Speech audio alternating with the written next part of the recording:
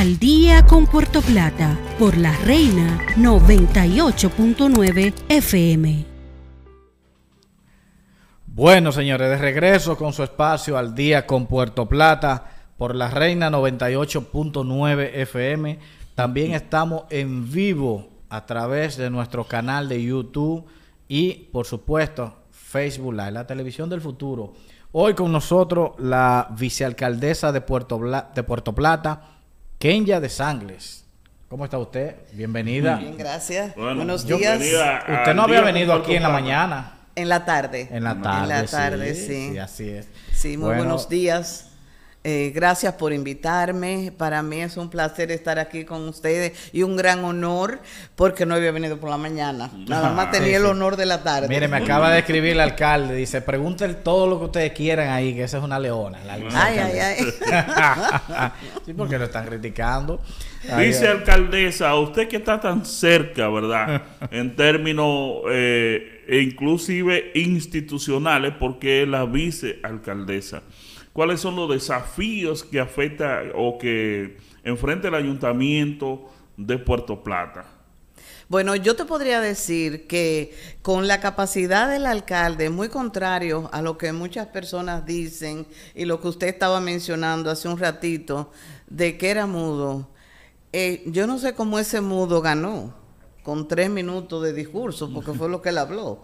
O sea que debe de estar muy de cerca con las comunidades y debe estar muy de cerca con, nuestro país para poder lograr una alcaldía tan difícil en un momento tan crucial como el momento que él eh, fue elegido alcalde. No, la gente olvida que, que de acuerdo a la ley 176-07, el alcalde en, ausencia del alcalde está la vicealcaldesa. Eh, no sé si ustedes han visto las fotos de, del presidente, que regularmente a su derecha está la, vice, la vicepresidenta. Hay una razón para todo eso. Debemos de estar preparados porque no somos omniscientes, ni omnipotentes, ni omnipresentes. Eh, no podemos estar en todas partes, no somos Dios. Entonces, lo que él, él, tiene que acatar las cosas que son más necesarias. Por ejemplo, cuando él se huele lluvia, ni siquiera tiene que ser anunciado. Cuando él huele lluvia, inmediatamente él se tira para las cañadas, se va para las áreas eh, que son más sensibles, las áreas neurálgicas eh, de aquí de Puerto Plata. Eh, él no, a él no lo tienen que llamar, ni le tienen que decir dónde, dónde debe ir. Él sabe porque él conoce su pueblo. Y nosotros estamos desarrollando eh, una serie de programas que inclusive estamos haciéndolo a través de la Unión Europea y de la GIZ. Estamos trabajando con, lo que compete al milenio, al 2030. Eh, si no se han hecho algunas cositas como lo del vertedero, eso está fuera de su alcance. Recuérdense que eso no es con el dedo. O sea, él no va a decir, tú vas a hacer eso porque no, en realidad no sería lo correcto. Él tiene que acatarse a decisiones con relación a todas estas cosas.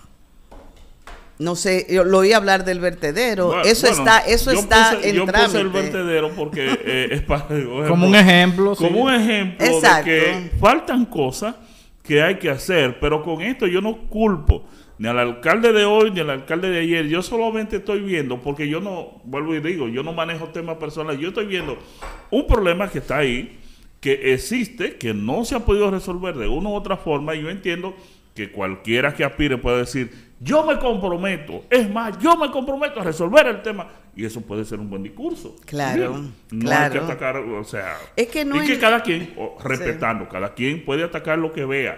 Ahora yo pienso que lo político vuelvo y reitero, en política aquí debemos ir madurando, porque a veces como que caemos en la en la tontería. ¿eh? Queremos decirle al pueblo. Nosotros no podemos irnos a lo personal eh, cuando nosotros estamos hablando de, de, un pueblo, de una nación, de un trabajo a ejecutarse. Nosotros en, ni siquiera, ni siquiera eh, podemos ir a nivel personal en nuestro trabajo, porque nosotros estamos ahí para realizar una labor que es necesario en beneficio de una comunidad, en beneficio de un pueblo.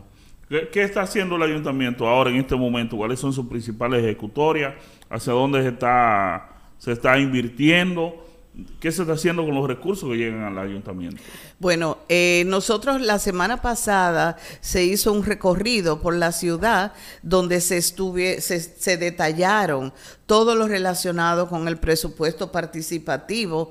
No es una no son obras que él dijo yo voy a hacer esto, yo voy a hacer aquello, sino obras que emanan del, del pueblo. El pueblo es que nos dice a nosotros cuáles son las necesidades. Hay algunas cosas que faltan que no se puede cubrir porque vamos a decir, yo no manejo cifras, pero sí manejo eh, situaciones, que no se puede decidir eh, hacer esto o aquello y está dentro de las posibilidades desde el punto de vista administrativo y él lo asume.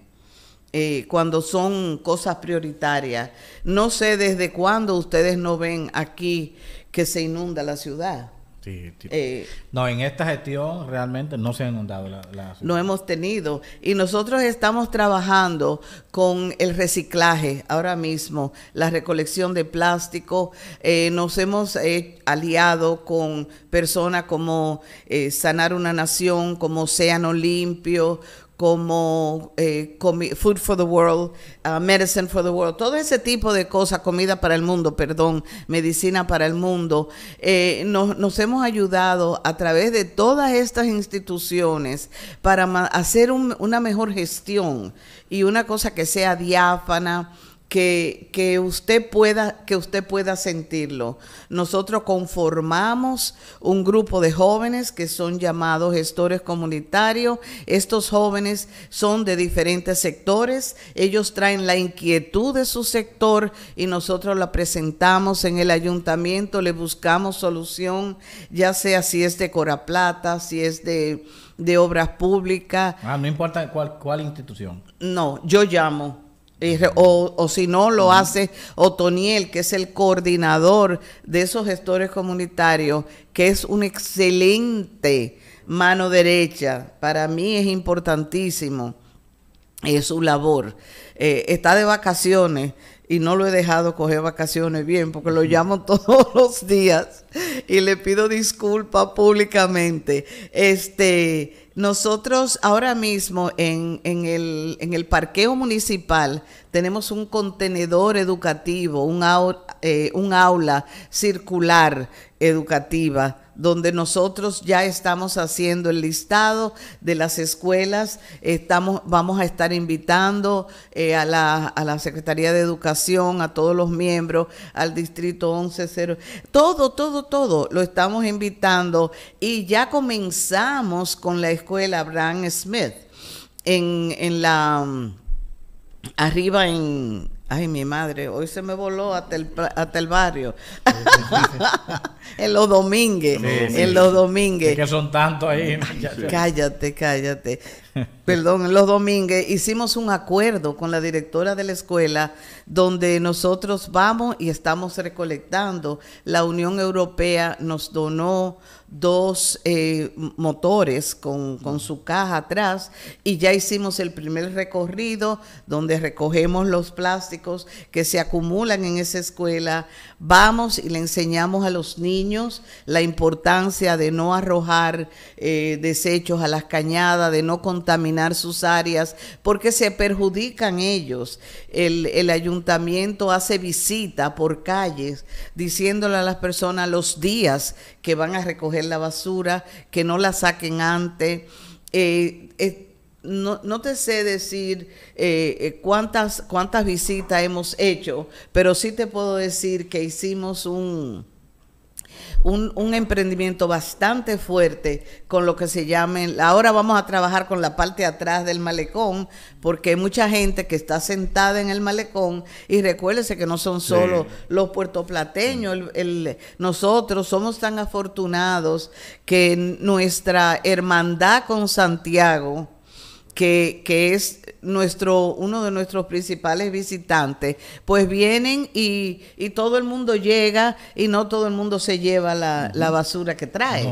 Entonces, muchas veces, la, no digo que los santiagueros no ah, recojan, jamás en la vida, sino que nosotros tenemos una diversidad de visitantes y no todo el mundo tiene la base de hogar, el nivel de hogar que nosotros nos encantaría que tuviéramos. No, ni aquí, mismo también tú ves la gente que el camión pasa ahora, antes de las 7, por la 27 de febrero, por ejemplo, y después de las 6 de la tarde, pero a las 10 de la mañana, a las 2, a las 3, a las 12 del mediodía, tuve gente sacando basura ahí en la 27 de febrero. O sea, algo ilógico. Pero bueno, esa es la situación de, A mí me interesa muchísimo el proyecto de, de, del malecón. Si si el proyecto incluye alguna colocación de educación, alguna colocación de zafacones en, en la parte eh, más cerca del mar o más cerca de la, de la costa para, para que la gente que vaya al malecón eh, deposite los desechos en esos zafacones en vez de, de, de lanzarlo, de tirarlo. Pues ya no me lo llevo, ya no voy a a llevarme esa basura en mi carro, pero hay un zafacón donde colocarla. Ese es uno de los planteamientos que nosotros tenemos preparado para el señor alcalde. Eh, nosotros tuvimos con eh, guardarenas no hace mucho de la UNESCO, ellos vinieron aquí, de la USAID también y estábamos midiendo la intensidad de las olas junto con la defensa civil y estábamos chequeando el área. Y pudimos ver eh, la basura, esa es una de las razones, porque también ya se, está, se ha controlado mucho la basura que viene por las esquinas de las cañadas debido a las biobardas que se han puesto ahí. Y el ayuntamiento religiosamente lo recoge y ellos eh, hacen disposición de lo mismo. Eh, esa es una de las cosas donde tenemos planificado, lo tenemos escrito. Nosotros comenzamos en el ayuntamiento con zafacones que clasifican los desechos. Tenemos en, el, en cada piso, eh, nosotros tenemos ese tipo de, inclusive tenemos tanques que, que ya los estamos eliminando y poniendo estos eh, zafacones educativos para que las personas se vayan acostumbrando. Recuérdate que esto es un aprendizaje y un reaprendizaje. Eso no era nuestra cultura de, de nosotros eh, clasificar los desechos. Eh, nosotros estábamos, como quien dice, a la brigandina en ese, en ese aspecto, pero hay que aprender y la idea del ayuntamiento lo que está es a través de la vicealcaldía, lo que estamos haciendo es enseñando. Nosotros estamos educando y reeducando, porque no me diga, muchas personas lo saben, pero no, ah, caray, eso no importa. pero cualquiera se imagina que la, que la vicealcaldía de un ayuntamiento es una figura decorativa. Eso, eso es lo que muchos piensan realmente. Mire, vicealcaldesa, tengo una pregunta para usted. En las redes sociales, e incluso se ha hecho pública, no sé si usted tiene conocimiento de esto, y si no, que el amigo Luis González, que pudiera estar escuchándonos o viéndonos, que nos llame. Eh, Danny Chevalier, delegado municipal, eh, para América del Norte, con sede en Toronto, eh, ha enviado una carta al alcalde Roquelito García, que yo espero también que eso se aclare desde la alcaldía, en la que está pidiendo que se explique por qué eh, tres camiones compactadores de basura, cuatro camiones de bomberos y dos ambulancias y 1.500 computadoras, yo creo que eso es una donación significativa, no ha tenido el interés desde la alcaldía, él dice que el propio alcalde Rocalito García no ha tenido el interés de hacer gestiones para que eso llegue aquí. No sé si usted tiene conocimiento de eso.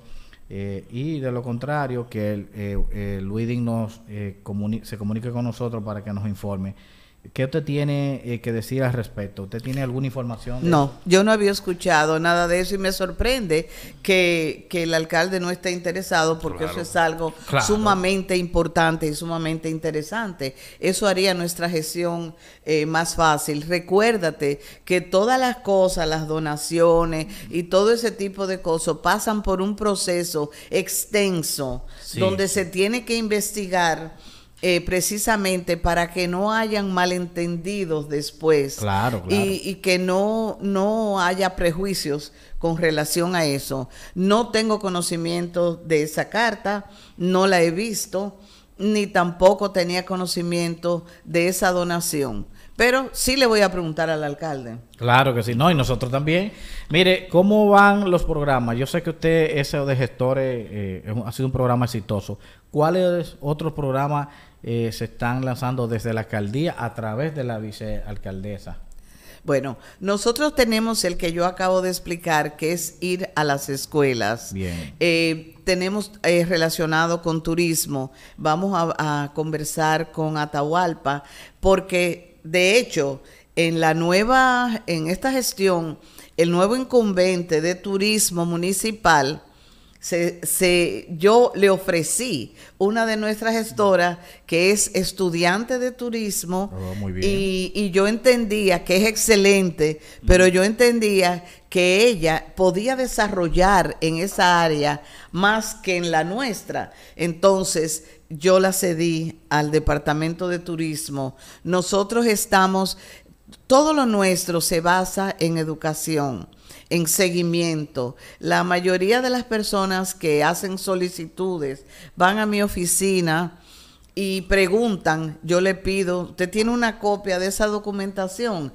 Entonces llamo al, al, despacho y le doy seguimiento. Nosotros le damos seguimiento a solicitudes nuevas y viejas, eh, a situaciones que mucha gente dice, pero eso no tiene que ver, yo le digo, no, todo tiene que ver conmigo, Sí. porque todo lo que lo que sea un, una piedrecita para la alcaldía tiene que ver conmigo porque yo soy parte de eso. Cuando hablan de la alcaldía hablan de mí. Usted es la vicealcaldesa. Ahora, que en otras alcaldías no le den funciones a la vicealcaldesa, a la vicealcaldesa ya es otra cosa. Pero usted es parte de la alcaldía y tiene que asumir funciones. Y yo entiendo que eso ha sido bien de su parte y de bien también del alcalde si la deja funcionar. Porque de nada usted sirve con tener ahí una persona, por ejemplo, que quiera trabajar y si usted la tiene de, de brazo cruzado. Yo no Porque estaría ahí. hay muchos, mire, hay muchas vicealcalde, vicealcaldesas que la tienen los alcaldes. ¿Tú sabes cómo? Machacada para que no le hagan sombra, solamente por política. Pero no es el caso de la vicealcaldesa que Sí. tiene aspiraciones políticas. Ahora, la vice sí quiere seguir ahí. ¿Qué usted cree? vicealcaldesa, dígame. Yo le, le, le expresé al señor alcalde que yo estoy en la mejor disposición de continuar a su lado porque es una persona que yo personalmente admiro y respeto. La decisión es de él, Claro. pero yo no Sí. tengo ningún inconveniente, al contrario, nosotros tenemos programas. Ahora mismo se canceló un viaje a Honduras donde íbamos a ir con las personas de GIZ, con la ingeniero eh, Natalie Gómez, y es aprender de unas maquinarias que ellos van a donar a Puerto Plata para nosotros tener como parte del contenedor donde las, las, las amas de casa, todas las emprendedoras, este, los clubes de madres podrán visitar y nosotros enseñarle cómo manejarla para que ellos hagan hilos del Oh, plástico, para que se hagan unos como unos ladrillos. Sea, que- reciclar. eh, claro, con- Eso, pero con, está con muy lo- con los importante. materiales reciclados del, del plástico y todo eso, esas maquinarias pueden entonces con utilizar eh, y hacerse o otro producto de, darle otra bien, vida. Otro uso. darle otro uso a esas cosas y nosotros con eso contribuimos a que no se vaya hacia el océano. Ustedes, si ustedes miran o caminan por el malecón, ustedes pueden ver que ya hay una regeneración de manglar rojo y blanco en el malecón, o sea que ya hay vida Sí, ahí. sí. Y, y ya también ahí yo usted puede ver los pececitos y usted puede ver las aves que vienen. Cuando las aves se acercan a la orilla es porque hay pesca. Así es. Hay menos contaminación que antes. Claro, claro. Vamos a ir a una pausa, eh, vicealcaldesa, pero cuando regresemos vamos a hablar de temas políticos y otros temas también eh, picantes aquí. Regresamos con Kenya de Sangle, vicealcaldesa de Puerto Plata, señores. Bueno, aquí estamos de regreso con nuestra invitada ya hoy, la vicealcaldesa de Puerto Plata, Kenya de Sangle. Yo quiero hacerle una preguntita. Usted no va a responder quizá algo que sorprendente, ¿verdad? ¿Por qué usted entiende que el municipio, la población de Puerto Plata, el municipio cabecera de esta provincia del mismo nombre, tiene que darle una nueva u otra oportunidad al alcalde Roquelito García? Yo lo encuentro esa pregunta bien simple, eh, porque su trabajo es lo que muestra las cosas que él ha hecho, lo que ha realizado, su preocupación por Puerto Plata, su presencia sobre todo, porque él está en casi todas las áreas. E inmediatamente, cuando alguien me escribe que yo se lo paso a él, él me responde de inmediato y me dice, y cuando yo vengo a ver ya se ha hecho que eso es lo que a mí me gusta, es su ejecutoria, lo que yo considero importante. Nosotros tenemos una organización en el ayuntamiento donde no somos uno. Nosotros somos una familia. Si hay algo que tiene que ver con tránsito, yo llamo tránsito de inmediato. Si hay una calle que yo veo un letrero que está mal o alguien me escribe, yo inmediatamente lo reporto. O sea, él no tiene que estar presente ni estar como un loro en cualquier esquina. No, claro. Yo creo que el loro soy yo. porque porque eh, esa es mi forma, no todos tenemos eh, la, la misma forma. Pero si hay alguna situación en cualquier esquina, yo le escribo. Si alguien me escribe, yo se lo paso a él y me aseguro que se haga. Entonces, esa ejecutoria, es lo que yo entiendo que el pueblo debe de darle una segunda oportunidad y estoy segura que sí, porque yo no veo ninguno. Los números. Ah. no. no hay contrincante. Usted dice. Ah, Javier Clar. Y, Javier Clar. Bueno. Y, Huáscar Vargas de la Fuerza del Pueblo. ¿Están ahí? Eso está muy bien. Son, son personas muy buenas. Eh, son. Eh, han sido funcionarios. No tengo nada malo que decir pero sí puedo comparar. Eh, y yo entiendo que ese empuje, esa chispa, esa organización que tiene el ayuntamiento ahora mismo es lo que verdaderamente vale. O sea, nosotros no vamos a inventar, nosotros estamos así diciendo lo que hemos dicho que haríamos. ¿Usted es mi respuesta. La, la gestión del alcalde Roquelito García ¿Se ha manejado con transparencia? Nada más hay que ir al departamento, en el primer piso. Usted va y ahí están todas las respuestas la, oficina de libre acceso. claro que sí, eso funciona. Tanto es así que por esa razón de que esa oficina está y las diferentes y la forma de su ejecutoria es que nosotros hemos conseguido que la Unión Europea vuelva a llamarnos, que la AID esté con nosotros, que la UNESCO nos tome en consideración, que las diferentes empresas de tanto extranjeras como locales nos consideren Usted no va, si a mí me dicen que usted es una persona irregular, malversadora de fondos, yo no voy donde usted a entregarle mi tesoro. No. Entiendo yo. ¿Cómo usted cree que están los numeritos del alcalde a nivel de preferencia electoral? Eh, ¿Usted cree que están mejor que nunca, medio o bajo? ¿Usted cree que el trabajo que ha hecho el alcalde lo mantiene por encima del 50%. Yo creo que él se ha mantenido, sí, él se ha mantenido y, y ha subido, es más.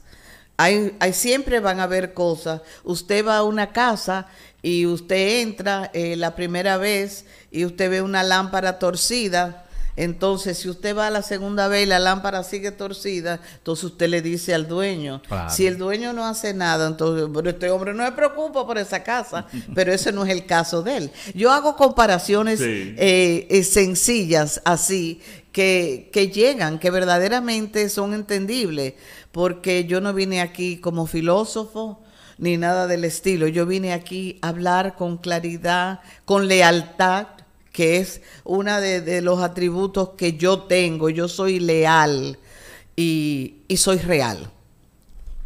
La gestión de Luis Abinader ha enviado mucha ayuda al alcalde, incluso a través de obras. El Ministerio Administrativo de la Presidencia, eh, ¿verdad?, que dirige Paliza, eh, Roquelito y la alcaldía, ustedes como alcaldía, tienen un aliado en el Palacio Nacional que es eh, Paliza ya, ¿verdad? ha recibido la ayuda suficiente la alcaldía. ¿Usted entiende que esto le ha beneficiado al alcalde? porque sabemos de que los recursos que llegan a los ayuntamientos a veces son escasos y no dan para hacer obras como, por ejemplo, como la remodelación del, de la plaza municipal. No, no, un ayuntamiento no puede embarcarse en, hacer una obra como esa. Yo diría que sí, no solo Paliza, sino nuestro presidente municipal, nuestro presidente provincial, que son puertoplateños eh, y les duele su pueblo. Eh, José Ignacio Paliza, que también es de Puerto Plata. Y yo creo que hasta Luis es de Puerto Plata. Claro, claro. este, sí, eh, nosotros eh, las cosas que son viables hemos recibido respuesta inmediata. No tenemos la fortuna que, que, por ejemplo, se tenía antes con el Ministerio de Turismo, que tenía una cartera muy, muy amplia y un expendio bastante, bastante amplio, eh, que metían la mano siempre, aquí había asfaltado, se le facilitaba eh, al incumbente anterior todo el asfaltado que necesitaran, se hacían correcciones, cambiaban luces. Nosotros esto lo hemos tenido que sudar en el sentido de que tenemos que solicitar, tenemos que trabajar, tenemos que pedir y esperar viabilidad, porque este no es un gobierno que derrocha, este es un gobierno que tiene limitaciones. Vámonos al gobierno. la, la oposición dice que este gobierno no ha invertido nada en Puerto Plata, que qué ha hecho. No tiene nada que exhibir. Pues, yo, yo, yo tengo, yo tengo como tres páginas en mi celular que tendría que que tendría que leerlo. Claro que sí, claro que sí. A través del ayuntamiento también nosotros tenemos obras en cementados, puentes, cruces de calle, eh, arreglo de, de, playa, este, ampliación de carretera que se está haciendo, por ejemplo, esa, la autopista Duarte es una, es una cosa que va a ser fenomenal. Usted ni, ni va a saber dónde está. Y, y bueno, no sé, lamentablemente ahora nuestro, nuestro país está sumido en el dolor por la situación del fin de semana. Eh, y eso hay muchas especulaciones, hay personas eh, que dicen que fueron vicios de construcción, otros dicen que fue por el exceso de, de agua, otros dicen... Por falta de mantenimiento. Todas esas cosas eh, pueden decir pero nosotros entendemos que eso no es importante ahora mismo. Lo importante es nosotros ser solidarios y entender que nuestros hermanos dominicanos están sufriendo, muchas familias y muchas personas, allegados, amigos, eh, eh, se fueron muchos profesionales, o sea, y, toda la persona en general, porque no tiene que ser profesional. yo creo que no es momento para culpar a nadie. Yo le quiero hacer una pregunta ahora que estamos hablando este poquito. Usted, recientemente yo recibí una nota, mayormente, yo no puedo, eh, por una situación que tengo, acompañar al alcalde y a muchos, no solamente a él, sino a otros funcionarios también, a ver algunas cosas que ellos están haciendo. Y yo he sido invitado, pero nunca he podido ir. Usted entonces conoce a Rancho Ambrosio, Loma del Gallo, toda esa zona donde se han hecho esas obras. Bueno, Rancho, el Loma del Gallo, yo te puedo decir que esa zona se está trabajando. Oye, la vicealcaldesa no es una persona de oficina. la vicealcaldesa no es una funcionaria de oficina solamente. No, yo, yo he pasado por todas esas áreas. Incluso cuando la gente de ADN Bachata vinieron, ellos vinieron a mi oficina, fue.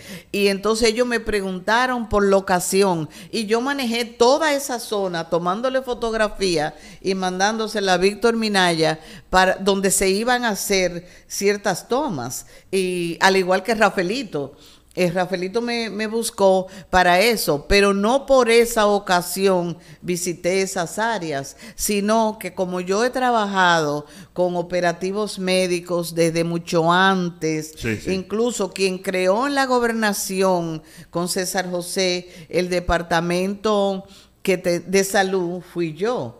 Y yo estuve nombrada ahí no por currículum, no por, por partido, no por política, sino por currículum. Fue que fui eh, designada. Este, y todas esas áreas la visitábamos para ver cuáles eran las necesidades. Hicimos un levantamiento desde la oficina de mi esposo de 1.500 personas aquí en Puerto Plata de qué padecían, qué medicamentos tomaban, cuántas veces, su teléfono, y yo le escribí a diferentes laboratorios de a todo, a todo el que me decía, diciéndole la cantidad de personas que tomaban, por ejemplo, los sartán, risperidona, el que tomaba eh, este, amoxicilina, ampicilina, los que estaban enfermos, las personas de dengue, todo ese levantamiento yo lo hice estando en la oficina de mi esposo. O sea que yo no soy nueva en los barrios. Cuando la, aquellas inundaciones en que estaba el señor Rivera, yo trabajé en los barrios y fui a los distintos sitios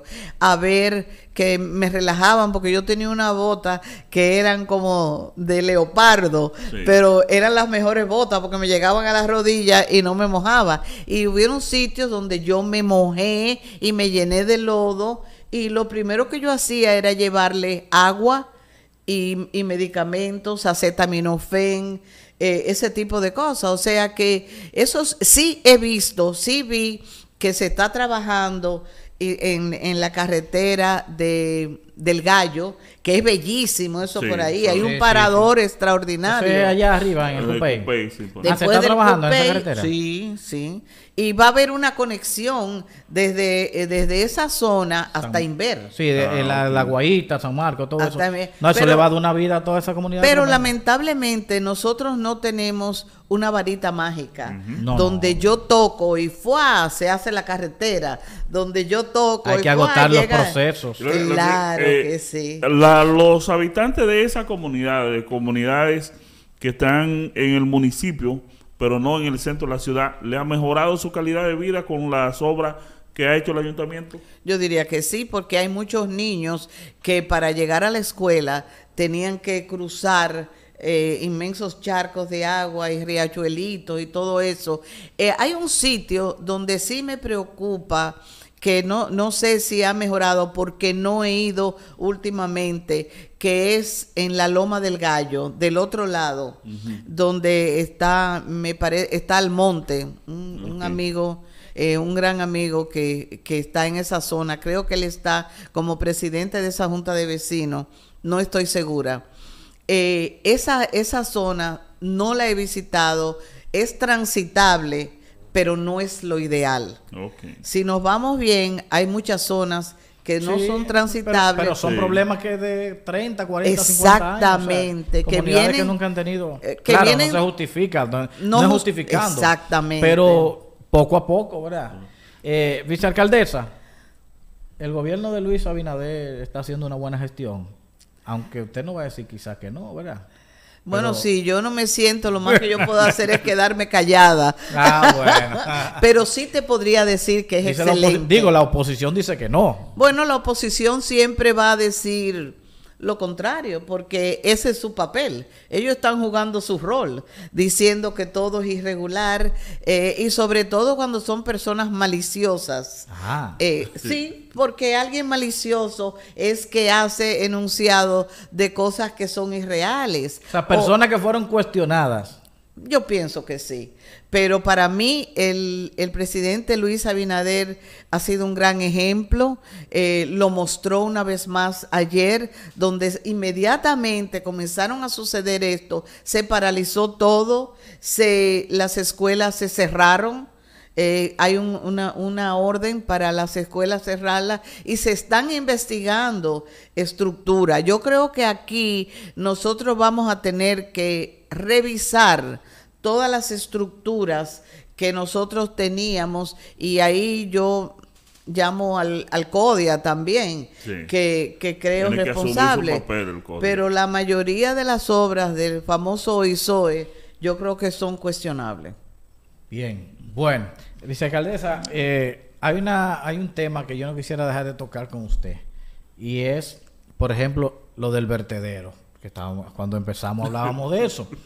¿Qué ha pasado con esta gestión que no ha podido dar pie con bola? El gobierno pasado de Danilo entregó 250 millones de pesos en calidad de donación a través del Ministerio de Turismo a la alcaldía en la gestión de Walter Musa. Eh, cuando llegó Roquelito García, eh, aclaró, por supuesto, que lo que encontró fueron 198 millones.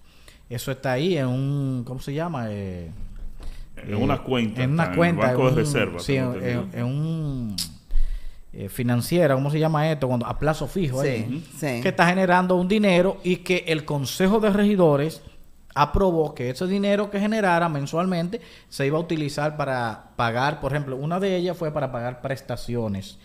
Que en día pasado escuché yo una gente, señores, que, que no le habían pagado las prestaciones. Y dije, pero ven acá, tres años. Pero bueno, ¿qué ha pasado con el vertedero? Eh, vi que el gobierno también declaró eso de prioridad que el gobierno va a ayudar en, eso, porque la alcaldía, sabemos que la alcaldía no puede involucrarse en un tema como ese, no tiene los recursos. Esos 198 millones que están ahí en una cuenta, eso no da ni para mover 198 no. ¿Cuántos son? Eh, yo tengo entendido que lo que habían era 55 millones. No, no. No, los, no, los 55 fue lo que se gastaron. Ah, fue lo que se gastaron, perdón. Los, 55 fue que Walter Musa ese señor, pues yo no quiero decirle charlatán, que compró un terreno sin aprobarlo el Consejo de Regidores, sin ir a un proceso de comparación de precios y violando la ley 340-06, se lo compró a un amigo suyo. Es decir, usted y yo somos amigas y usted me dice, eh, mire, Juan Enrique, como funcionario del ayuntamiento, le voy a vender este terreno. ¡Pam! Y yo tengo, tenga 55 millones. O sea, así sí es bueno. Pero bueno, eso Yo tengo una caja de caramelo, yo te la voy a pasar. Sí, exacto. Sin este aprobarlo el consejo y sin ir a un proceso de comparación de precios. Pero hay 198 millones, tengo entendido ahí. ¿Qué ha pasado? Dígame. Mira, la mejor lástima que con nosotros no está el ingeniero Astrubal, porque la mejor explicación la dio él el domingo cuando vinieron de, de la capital eh, varios eh, eh, periodistas, entre eso estaba este señor Domingo, este, donde, donde estaba, donde él desglosó parte por parte de lo que había, que hay una parte que está a plazo fijo, cierto, y eso se está utilizando para, para ponerse al día en muchísimas deudas. Por ejemplo, cuando yo llegué a la alcaldía, yo levanté el teléfono y yo, aló, aló, aló, no, yo no tenía teléfono. Cuando llamé a Codetel, o claro, eh, se debían siete meses de teléfono. O sea que hay muchas cosas que no me gusta, eh, no, me gusta como, como entrar en esos detalles porque eh, no me gusta hablar del árbol caído y lo considero caído. Este, pero con lo, el vertedero, eso se está trabajando. Nosotros vamos a tener, lleva un dinero enorme. Se tuvieron, se tiene que hacer una relocalización porque ese terreno no se podía utilizar por la vertiente. Los lixiviados iban a caer, inclusive se, muchísimas de las personas de la zona se quejaron porque le iba a contaminar las aguas le iban a contaminar su terreno y por esa razón eso se frenó. Me encantaría, me encantaría que ustedes invitaran al ingeniero Asdrúbal. Él le puede dar todos esos detalles, eso no es un secreto. Eh, para nadie, no, no, es un secreto, nosotros no lo tenemos guardado, ni estamos preocupados de dar esos detalles, pero sí se está trabajando ya en reorganizar para que cuando las personas lleguen a Puerto Plata no se encuentre con ese desastre que tiene 20 años y que ahora es, es una, está haciendo una llaga. Entonces, me gustaría que fuera él. No me gusta dar explicaciones de algo que yo no tengo 100% en la mano. Me gustaría que él fuera, que ustedes lo inviten, y si él nos está escuchando, me gustaría que nos llamara para que diera esos detalles. Kenya de Sangles está hablando con nosotros, señor, en el programa Al Día con Puerto Plata. Vicealcaldesa, el presidente de la República ya se ha dicho que tiene una visita oficial para acá para el 16 de diciembre. Va a inaugurar entre obras que viene a inaugurar, entre esta el controversial puente de Cangrejos.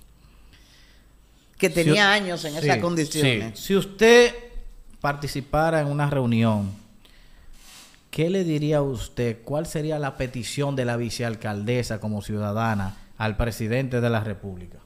Me gustaría que se tomara más en cuenta el sistema de la educación. Para mí la educación es importantísimo. Eh, nosotros tenemos que mejorar esas áreas y también la situación de turismo, el, la, lo, lo, no solo los muelles, porque ya nosotros tenemos, ese es uno de nuestros puntos fuertes, que nosotros somos la única provincia que tiene dos muelles y que a la vez podemos albergar hasta cinco cruceros en, en una ocasión. Pero aparte de la educación, me gustaría un fortalecimiento en el área de turismo eh, para acá, eh, tanto, eh, no solo de, de educar en el, en el punto de vista del Departamento de Educación, sino también los, eh, los guías turísticos, el fortalecimiento del, del, parque, del Wi-Fi. Nosotros debemos de tener y, un, y una ayuda en el centro histórico, que creo que es un punto clave para nuestros visitantes. Esas serían las partes que yo creo que nosotros tenemos que fortalecer, a pesar de que el alcalde está haciendo un trabajo extraordinario con el fortalecimiento de nuestro centro histórico. Mire, alcaldesa, vicealcaldesa, yo tengo una, yo tengo una, una, una, sugerencia, una inquietud. No, no, y es un favor que le voy a pedir. Cuando usted salga de aquí, usted va para la alcaldía, ¿verdad? Claro que sí. Lléguese a donde el director de cultura, ¿cómo se llama el joven? Eh, Jairo Reyes. Usted estaba el viernes pasado en, la Plaza Independencia, en el calentamiento de ADN Bachata, que por cierto, ADN Bachata se dio ahí, estuvimos ahí, nos mojamos. Las dos veces. no, perdón, fue el jueves en el, en el parque. Pero el viernes nos mojamos. Bien. Y usted estuvo ahí y a mí hasta vergüenza me dio como puertoplateño porque un locutor que no es de aquí dijo, alcalde, el arbolito, ¿cómo es posible? Ya hoy estamos a 20 de noviembre. Ese árbol navideño hay que inaugurarlo el primero de noviembre de cada año. Eso no hay que dejarlo para final de noviembre ni a principio de diciembre, para que esté solamente un mes. Así que vaya y, y, jálemele la oreja a Jairo, porque eh, eh, hay que darle vida de Navidad. Ya todos los pueblos tienen su árbol navideño. ¿Eh? Y, aquí no hemos quedado atrás. Nosotros, nosotros vamos a tener, recuérdate que Jairo es un artista. él, él crea, entonces, con un artista, usted no puede, no debe haber apresuramiento. Nosotros que temprano, Bueno, él va, él creo que se van a sorprender ah, con la realización. Va a valer la pena. La, yo creo que sí. Muchas veces usted va a un sitio. El mío está puesto desde abril, el, arbolito. no, pues yo no lo quité el año pasado. No, yo, yo, el mío lo puse el, en noviembre, a ah, principios de noviembre. Ah, el de mi oficina.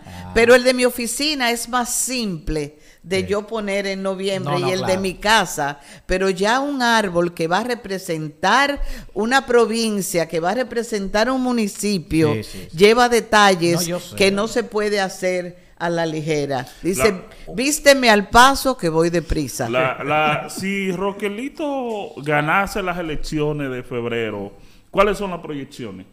¿Qué es lo que se va a hacer en los próximos cuatro años en caso de que él gane? ¿Por qué no le pregunta a Roquelito? Ah, Usted me está haciendo una pregunta de lo que él creería. Eso no me corresponde a mí contestar. Eso le corresponde al alcalde. Bueno. ahí Daniel, ponme el video de ADN Bachata. Con eso vamos a despedir el sábado. Miren ahí, el público desafió la lluvia, señores. Yo, yo por más sombrilla que llevé, Tuve que mojarme, lamentablemente. La mía se me perdió. ADN Bachata World Festival se celebró aquí el viernes eh, y el sábado en el Hotel eh, Senator. Senator. Pero en el día de ayer estaba previsto ya cerrar ADN Bachata en Santiago y fue pospuesto debido a la tragedia nacional que ha ocurrido. Que lamentamos la situación y llevamos nuestro mensaje de solidaridad. Las personas que perdieron sus parientes. Ahí está, Daniela, colocate ya. Ahí están viendo ustedes algunos de los artistas. Eh, el viernes pasado, pues, eh, debutaron, Daniel, ayúdame. Ahí estaba Luis Miguel de la Margue. Estaba, ah, señores, un gran homenaje a la Hazá y un gran homenaje al papá de la bachata, Luis Segura. Él está viejito, lo llevaron ahí, pero, señores, pero es que son cuántos. Pero cantó. cantó, cantó. La, no, no, cantó, ¿Eh? sí, cantó. A pesar de la lluvia, cantó y asistió. Y una joven también que tiene mucho talento, ¿cómo que se llama? La negra, ¿cómo es? caramba, Daniel, pero tú, eh, eh, vean, el, hombre que me estaba representando ahí en, la farándula no sabe los nombres, ¿cómo es? No, así no, pero por Dios, yo estaba allá, pero la negra, bueno, ella canta muy bien, ¿eh? Canta muy bien. Así que, de verdad. Y la otra joven también, eran dos jóvenes ahí. Bueno de todos modos, agradecer a los organizadores de, ADN Bachata. Yo creo que, como había señalado en otro momento, este tipo de eventos son buenos para la provincia de Puerto Plata. Ponen alto nuestro sí, sí. Y debemos continuar haciendo unos esfuerzos en crear actividades propias que cada vez que se hable de ellas, pues se hable también de Puerto Plata, porque su epicentro y esperamos que para el año próximo, pues entonces la lluvia no nos, no nos dañe la fiesta. Aunque no nos dañó ahí, yo me mojé, pero se disfrutó como, quiera. Con sombrilla en mano se disfrutó. Vicealcaldesa, eso, es cierto. Vicealcaldesa Kenya de Sangle fue nuestra invitada de hoy. Le, gracias, le agradecemos eh, que haya venido una vez más aquí. Usted vino en la tarde, ya en la mañana. Y esperamos que continúe viniendo. Y estamos a la orden eh, cuando usted disponga. Yo también. Para mí es un placer estar aquí y, contestaré con la misma sinceridad que me he caracterizado siempre. Daniel me dice que usted tiene la disponibilidad de dar un mensaje a la población ahí, eh, final. Bueno, ahora mismo yo creo que lo que nosotros tenemos que hacer es orar, orar por los familiares de las personas que están, que han sufrido ahora mismo y que están pasado, orar por nuestro presidente para que pueda encontrar consuelo para los otros y orar por nuestro alcalde que está trabajando de una forma incansable para que él siga trabajando por cuatro años más. Ahí lo dijo la vicealcaldesa Kenya de Sangle, señores. Bueno, pedimos el espacio del día de hoy, entonces a las 12 nos reencontramos aquí en la segunda emisión del día con Puerto Plata y a las 5 de la tarde en nuestra tercera emisión. Así que un feliz resto de la mañana. Bendiciones. La Reina 98.9 FM